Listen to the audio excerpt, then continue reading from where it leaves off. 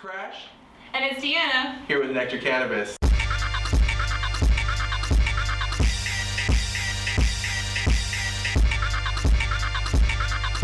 So we're here today. We got some really awesome products from actually some of our favorite growers and cultivators yes, here. Um, it's Eugreen. Um, they're out of Eugene, Oregon. I brought in today uh, one of my favorites from them, Purple Punch.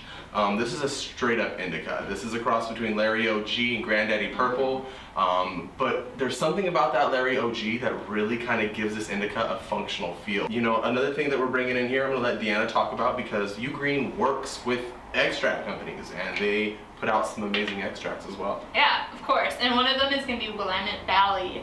They have a nice very nice facility. They do high-end quality extractions in live resin, um, and they work very well with Eugreen.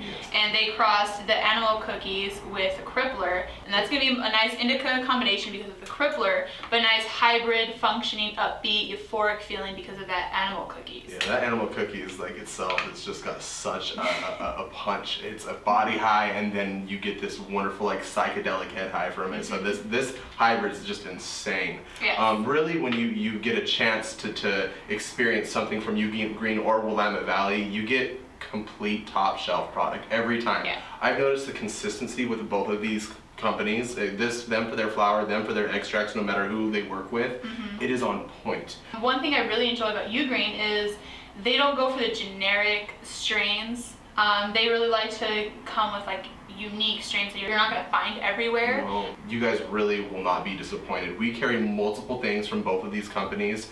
Please come down and check them out. You guys will not be disappointed. Eugreen and Willamette Valley, they are absolutely taking over the industry, especially here in Oregon.